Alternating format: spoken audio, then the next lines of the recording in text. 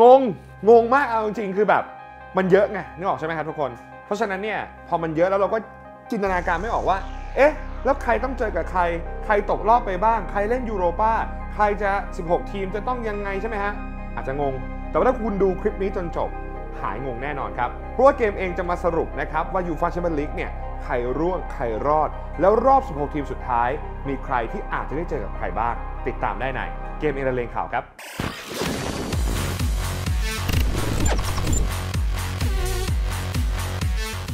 อร่อยติดขอบชอบชอบกดไลค์ใช่กดแชร์กับอาหารยอดคุณ ในที่สุดนะครับ UCL ก็ได้บทสรุปของรอบแบ่งกลุ่มเรียบร้อยแล้ว ตอนนี้เรารู้แล้วว่ามีใครบ้างที่สามารถกรุยทางไปสู่รอบ 16 ทีมสุดท้ายได้บ้าง ทั้งในฐานะแชมป์กลุ่มแล้วก็รองแชมป์กลุ่มถูกไหมครับ รวมถึงบรรดาทีมต่างๆ ที่ต้องกอดคอลงไปเล่นถ้วยรองอย่างยูโรปาลีก ซึ่งก็ต้องบอกว่าสำหรับถ้วยในซีซั่นนี้ครับ การันตีความเดือดไม่แพ้ UCL เช่นกันสำหรับยูโรปาครับ เพราะฉะนั้นวันนี้ฮะเราไปดูบทสรุปแบบชัดเจนกันเลยว่า 16 ทีมสุดท้ายมีสโมสรไหนบ้างทีมไหนมีโอกาสเข้ารอบไปเจอทีมไหนบ้างแล้วจะมีบิ๊กแมตช์เกิดขึ้นหรือเปล่า เช่นเดียวกับการสรุป 8 ทีมที่ต้องร่วงไปสู่ศึกยูโรปาลีกจะมีใครบ้าง อะ เข้าเรื่องเลยแล้วกันนะครับ มาดูเรื่องของการจับฉลากรอบ 16 ทีมสุดท้ายกันก่อน อย่างแรกนะครับ ผู้ที่จะเข้ารอบต้องมีคะแนนสูงที่สุดในฐานะแชมป์กลุ่มถูกไหมแล้วก็รวมถึงทีมที่2นี่ก็คือรองแชมป์กลุ่มเท่านั้นที่จะผ่านเข้าสู่รอบต่อไป ส่วนในรอบ 16 ทีมครับแชมป์กลุ่มทั้ง 8 ทีมเนี่ยจะถูกแบ่งเป็นคนละโถกับรองแชมป์อีก 8 ทีม และทีมจากกลุ่มเดียวกัน จะไม่มีสิทธิ์มาพบกันเองในรอบนี้ รวมถึงทีมที่มาจากลีกเดียวกัน ก็จะไม่มีทางเจอกันใน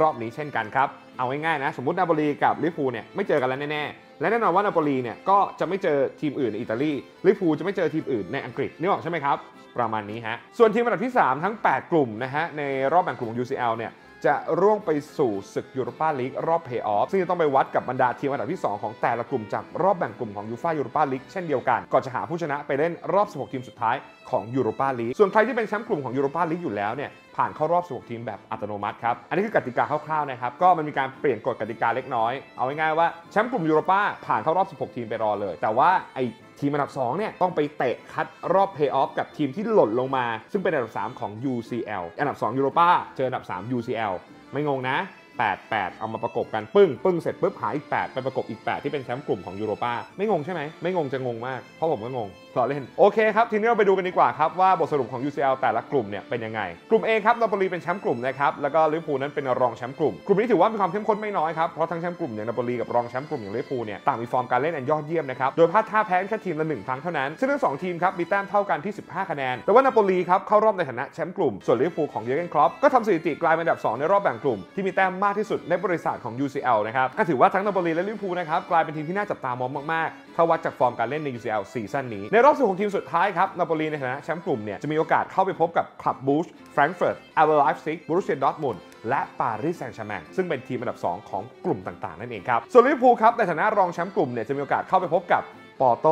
บาเยิร์นมิวนิกเรอัลมาดริดและเบนฟิก้า ในขณะที่โควต้ายูโรปาลีกจะตกไปอยู่กับอาแจ็กซ์อัมสเตอร์ดัมนั่นเองครับกลุ่ม B ครับปอร์โตเป็นแชมป์กลุ่มนะครับแล้วก็รองแชมป์กลุ่มคือคลับบรูชนั่นเองกลุ่มนี้ถือว่าผิดคาดพอสมควรเลยครับเพราะในตอนแรกเนี่ยใครๆก็คิดว่าแอตเลติโกมาดริดและไบเออร์เลเวอร์คูเซนเนี่ยน่าจะเข้ารอบ 16 ทีมสุดท้ายได้ไม่ยาก แต่ว่าความเป็นจริงไม่เป็นอย่างนั้นครับเพราะทีมที่ถูกมองว่าเป็นรองอย่างปอร์โตจากโปรตุเกสและคลับบรูชจากลีกเบลเยียมเนี่ยต่างทำผลงานที่อย่างยอดเยี่ยม จนทะลุเข้ารอบในท้ายที่สุดครับโดยแชมป์กลุ่มอย่างปอร์โตนะครับอาจจะมีสิทธิ์เข้าไปพบกับอินเตอร์มิลานแฟรงก์เฟิร์ตเอซีมิลาน แอร์เบไลป์ซิกโบรุสเซียดอร์ทมุนด์และปารีสแซงต์แชร์แมงครับ ส่วนทีมที่ได้โควต้าไปเล่นยูโรป้าเนี่ยนะครับ ก็คืออันดับ 3 อย่างไบเออร์เลเวอร์คูเซนของชาบีอลอนโซนั่นเอง ในขณะที่ตัวเต็งจ่าฝูงในทีแรกอย่างแอตเลติโกมาดริดต้องจบด้วยการเป็นบ๊วยของกลุ่ม หลังแข่งมา 6 นัด ชนะแค่เกมเดียวแถมยังแพ้ไปถึง 3 นัดครับ ไม่ได้โควต้าใดๆเลย ก็เรียกว่าตกรอบแบบชีช้ำกระหล่ำปรีมากๆสำหรับดิเอโกซิเมโอเน่และแอตเลติโกมาดริดครับ ไปดูกันต่อที่กลุ่ม C ครับบาเยิร์นมิวนิกเป็นแชมป์กลุ่มกับอินเตอร์มิลานเป็นรองแชมป์กลุ่มครับนี่ถือว่าเป็น group of death อย่างแท้จริงเลยนะครับเพราะกลุ่มนี้เนี่ยประกอบไปด้วยยอดทีมดังอย่างบาร์เซโลนา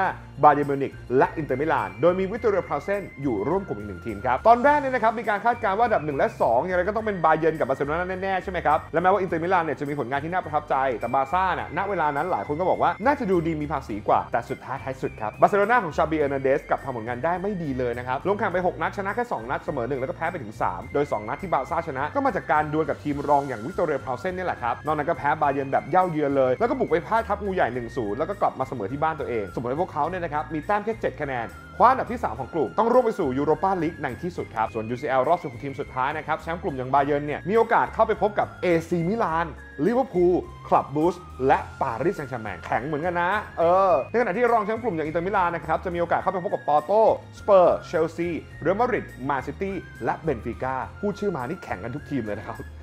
ต่อกันที่กลุ่ม D นะครับสเปอร์เป็นแชมป์กลุ่ม แล้วก็ไอน์ทรัคท์แฟรงก์เฟิร์ตเป็นรองแชมป์กลุ่มครับ ปกติแล้วนะครับอันโตนิโอคอนเต้มักถูกปรามาสเสมอว่าเก่งแต่บอลลีกครับบอลถ้วยบอลยุโรปไม่ได้เรื่องเลย เพราะฉะนั้นซีซั่นนี้กับการคุมทัพท็อตแนมฮอตสเปอร์น่ะทำให้เขาถูกจับตามองเป็นพิเศษว่าจะพาทีมไปได้ไกลแค่ไหนอย่างไรก็ดีครับแม้ว่าไก่เดือยทองจะมีกระท่อนกระแท่งไปบ้าง ด้วยการบุกไปแพ้และเปิดบ้านเสมอกับสปอร์ติ้งลิสบอนรวมถึงเกมที่บุกไปเจ๊ากับแฟรงก์เฟิร์ตแต่ว่าสุดท้ายครับพวกเขาก็เก็บแต้มได้ในเกมสุดท้ายหลังบุกไปชนะมาร์กเซย2-1 ด้วยประตูชัยของปิแอร์เอมิลฮอยเบิร์กครับในนาทีที่ 90บวก5เลยนะ ซึ่งนั่นช่วยให้พวกเขาเนี่ยนะครับคว้าแชมป์กลุ่มในที่สุด โดยสเปอร์นั้นจะมีโอกาสเข้าไปพบกับคลับบรูชอินเตอร์มิลานเอซีมิลานแอร์เบไลป์ซิก โบรุสเซียดอร์ทมุนด์และปารีสแซงต์แชร์แมงครับในขณะที่แฟรงก์เฟิร์ตครับจะมีโอกาสเข้าไปพบกับนาโปลี ปอร์โต เชลซี เรอัลมาดริดแมนซิตี้ และเบนฟิก้าก็แข็งเลยครับ ส่วนในโควต้ายูโรปาลีกครับก็ตกไปเป็นของทีมอันดับ 3 อย่างสปอร์ติ้งลิสบอนนั่นเอง นี่ก็เป็นอีกหนึ่งทีมที่เป็นของแข็งนะครับที่ต้องลงไปเล่นในศึกยูโรปาลีกครับกลุ่ม E ครับเชลซีเป็นแชมป์กลุ่มและเอซีมิลานเป็นรองแชมป์กลุ่มครับ ต้องบอกว่ากลุ่มนี้เนี่ยมีการแข่งขันอย่างสูสีมาตลอดเส้นทางนะครับ การต่อสู้ระหว่างเอซีมิลาน เชลซี และเรดบูลซัลซ์บวร์กรวมถึงดินาโมซาเกรบเนี่ย ถูกเรียกว่า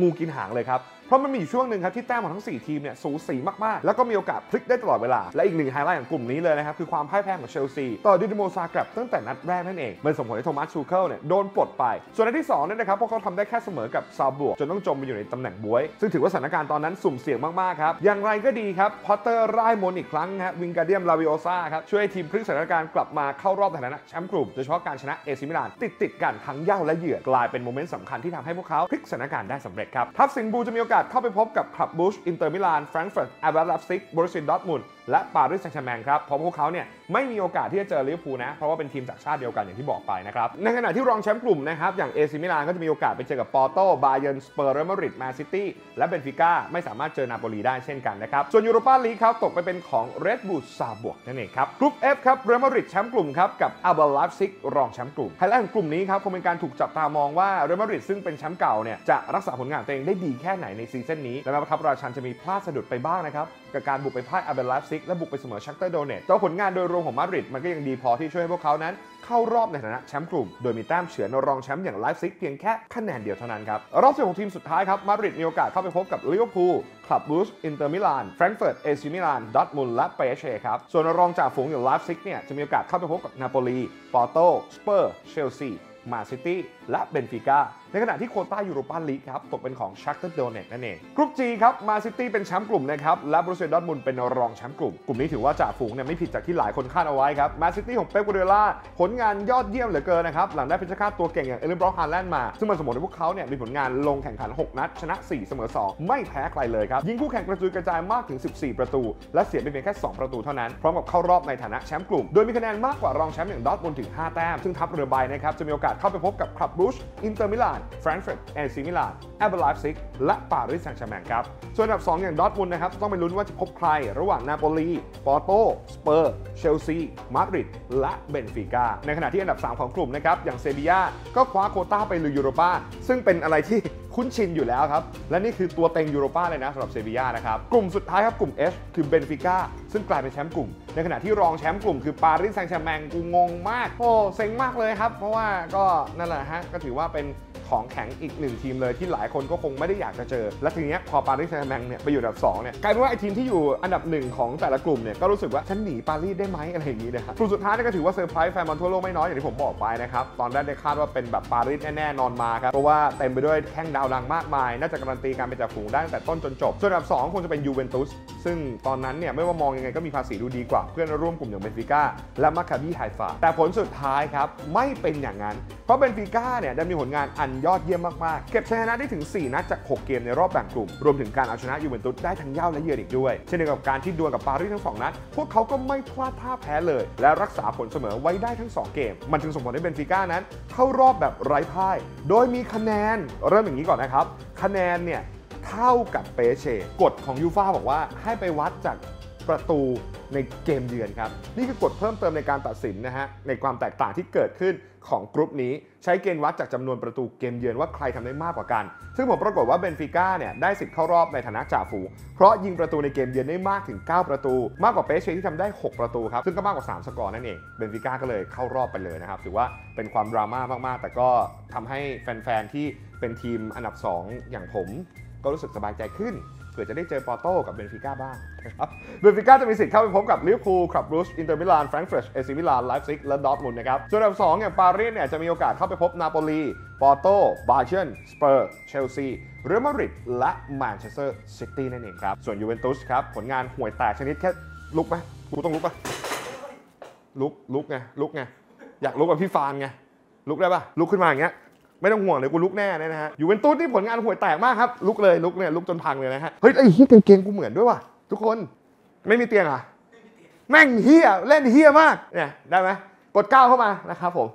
ยูเวนตุสเนี่ยนะครับผลงานเนี่ยชนะแค่เกมเดียวจาก 6 เกม แถมแพ้คู่แข่งไปถึง 5 นัดมีเพียง 3 คะแนน ร่วงไปสู่ศึกยูโรปาลีกจากการจบได้เพียงอันดับที่ 3 ของกลุ่มนั่นเอง เห็นไหมครับว่าทีมในศึกยูโรปาลีกก็แข็งกึกเหมือนกัน อะ พูดถึงยูฟ่าแชมเปี้ยนลีกก่อนแล้วกันนะครับ รอบ 16 ทีมเนี่ยจะมีการจับฉลากประกบคู่ในวันที่ 7 พฤศจิกายนนะครับ เวลา 18 นาฬิกาตามเวลาประเทศไทย โดยทำการแข่งขันในวันที่ 14 15 กุมภาพันธ์ และ 21 22 กุมภาพันธ์ ปี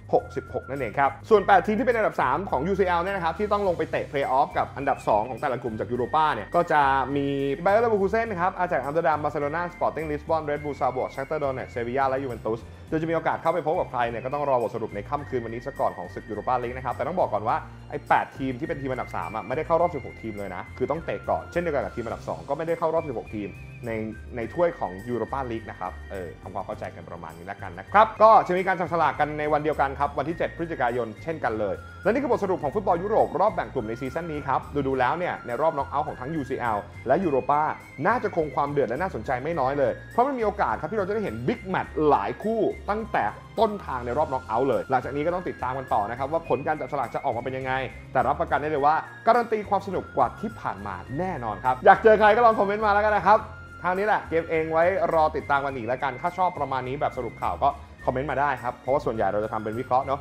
แต่ว่าช่วงนี้ก็คนเขียนเขาแบบไปดังซะแล้วไงเออจานหลาเขาแบบไปทำ insight เยอะแล้วอะเขาไม่เขียนให้เกมเองแล้วเดี๋ยวผมมานั่งเขียนเองละเออฝากไว้ด้วยแล้วกันวันนี้เกมเองไปก่อนสวัสดีครับ อร่อยติดขอบชอบชอบกดไลค์ใช่กดแชร์กับอาหารยอดคุณ